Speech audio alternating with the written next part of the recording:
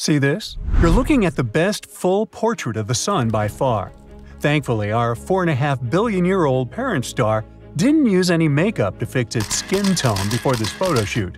And now we can study its surface in great detail. This iconic image was taken in March 2022. NASA wanted to gain a better understanding of solar behavior and its impact on life on Earth, and the future of our space technologies, of course. To do so, they launched the Solar Dynamics Observatory Satellite, or SDO, mission in February 2010. This legendary photo shoot happened 12 years later, when SDO was halfway between the Earth and the Sun. Scientists had to assemble 25 individual images like a puzzle.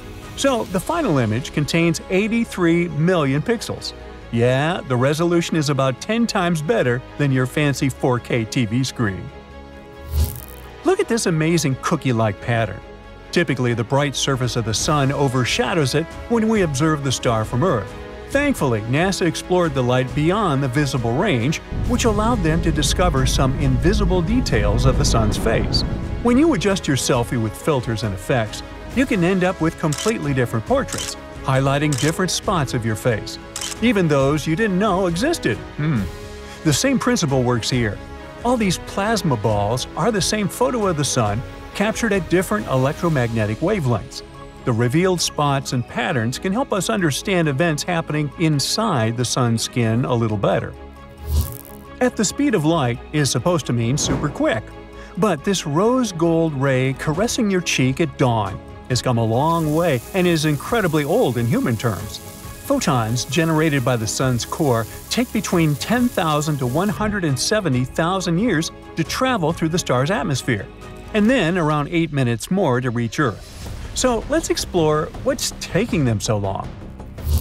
Our tour begins with the upper layer of the Sun's atmosphere. Remember solar deities in movies and theater plays? They often wear luxurious crowns with golden rays. Well, the real Sun does wear a fancy corona too, which is the outer layer of its atmosphere. But of course, its size and glory are incomparable with those plastic costume crowns. And its shape is not so stable. Corona is a gas shell enveloping our parent star, so its size and form constantly fluctuate under the influence of the Sun's magnetic field. You can spot this crown with the naked eye from Earth during total solar eclipses. It looks like a beautiful, intense radiation around the solar disk, which itself is completely blocked by the Moon. The corona stretches 5 million miles above the Sun's surface, whereas our blue planet is only about 8,000 miles in diameter. So, one hypothetical ray of the corona equals a row of about 625,000 Earth-sized planets. And suddenly, all my problems begin to seem tiny. Now here's another fun fact. The Sun's corona kind of breaks the laws of known physics because it's hotter than it should be. Its temperature reaches 2 million degrees Fahrenheit, whereas the surface of the Sun is only about 9,000 degrees. Although the word only doesn't fit here, because it's still super warm in human terms. Usually, temperature tends to fall as you move farther from a heat source, but it's not the case here. Space scientists are still scratching their heads trying to investigate this mystery. Thankfully, the recent photo shoot allows us to explore what's going on inside this massive hot stuff without risking losing our sight. Take these beautiful bright spots, for example. They depict solar flares happening under the corona layer. Solar flares are powerful explosions that happen when magnetic fields bump into each other. When it happens, they change shape and quickly reorganize. These fields arise from plasma, which is very turbulent itself, so these events are no surprise for the local weather. Now, who would have thought that the sun has dark spots on its skin, just like people? These darker areas are known as coronal holes, Earthlings can experience their impact when they observe the beautiful aurora lights in the polar regions.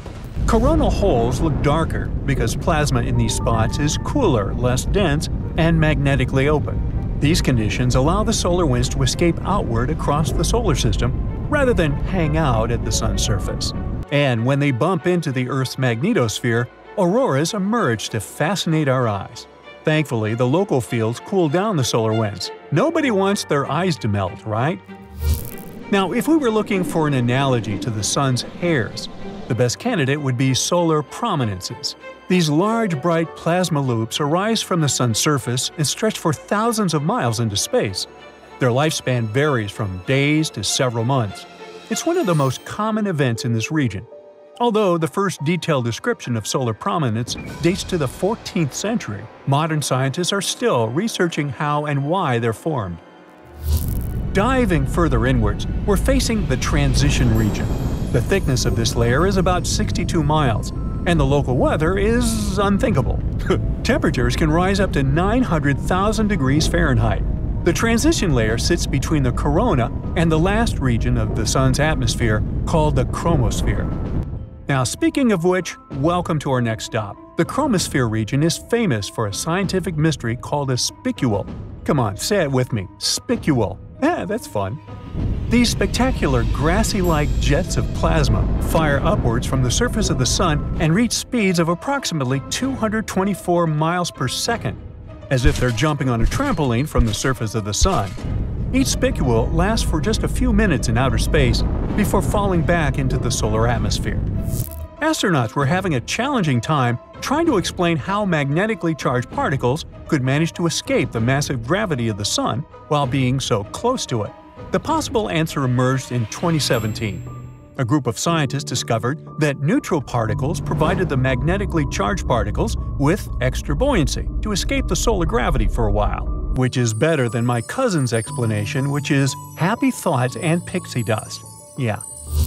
Now let's go ahead and travel 1,000 miles inward toward the chromosphere to finally reach the solar surface, the photosphere. It's around 248 miles thick. But unlike planet Earth, the Sun's surface is not solid or stable at all.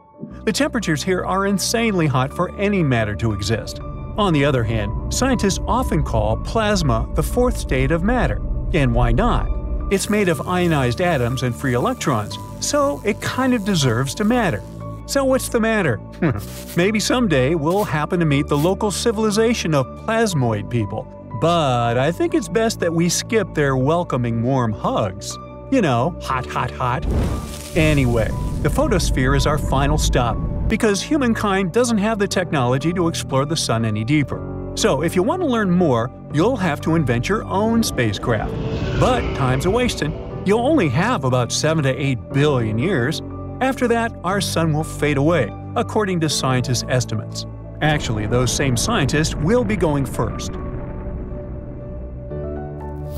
Now, you have a serious competitor, though. NASA's Parker Solar Probe is the current champion for the deepest dive into the Sun. The spacecraft managed to travel 4.5 million miles from the Sun's surface toward its core on September 27, 2023. And then, the Parker probe repeated its own record once again in December of the same year. So, why didn't it melt, I hear you asking? The probe has been designed to withstand insanely intense conditions and temperature fluctuations. It's equipped with a custom heat shield and an autonomous system protecting the mission from the massive solar lights. NASA has further ambitious plans. In December 2024, Parker will make its closest approach to the Sun. It will travel faster than any man made object has ever traveled, at the speed of 435,000 miles per hour. The probe will be just 3.8 million miles away from the Sun's glowing hot surface. It's like landing on a star, Astronomers have already compared this epic upcoming milestone with the moon landing. I'm thinking, however, it might be safer if we, you know, landed at night. Yeah, you're right, that's an old joke. That's it for today. So hey, if you pacified your curiosity, then give the video a like and share it with your friends. Or if you want more, just click on these videos and stay on the bright side.